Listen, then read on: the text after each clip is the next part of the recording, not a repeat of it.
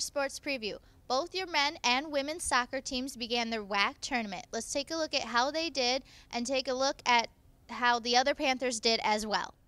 Women's soccer beat Concordia 5 0 and Madonna 1 0. They advanced to the finals of the WHAC tournament. They will play University of Northwestern Ohio this Friday on the DU turf field.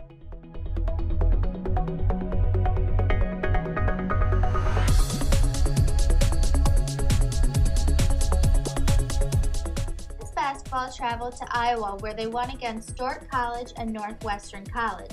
Dominus Burnett had a total of 39 points during the trip.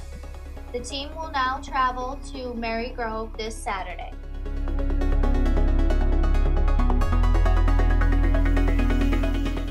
volleyball defeated Cornerstone 3-1, earning them second place going into the WHAC tournament. They will travel to Madonna University this Friday to begin the WHAC tournament.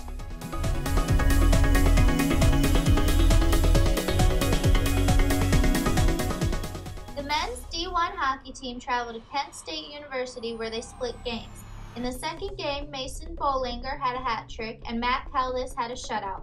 Their next home game is this Saturday at 3.30 against Oakland.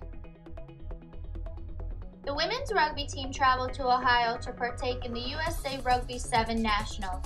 They went 1 and 2. This puts their overall record at 8 and 2. Men's soccer took on Concordia in the WHAC quarterfinals. The Panthers won 5 3 with Dino Deratovic scoring two of the goals. Their next game is Tuesday at 7 p.m. against Madonna.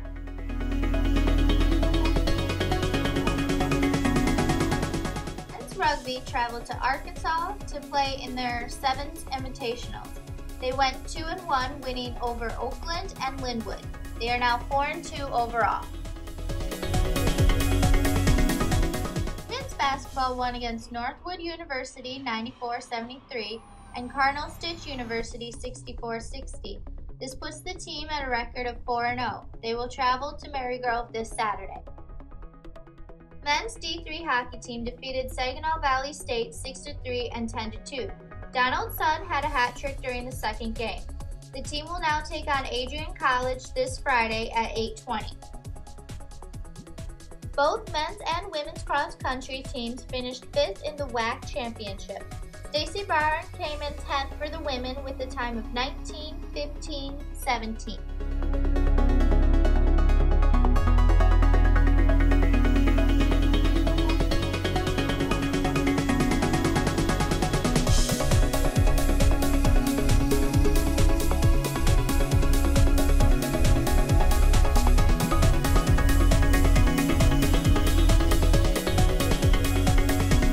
Sure to come out and support your Panthers in their WHAC tournament finals this week.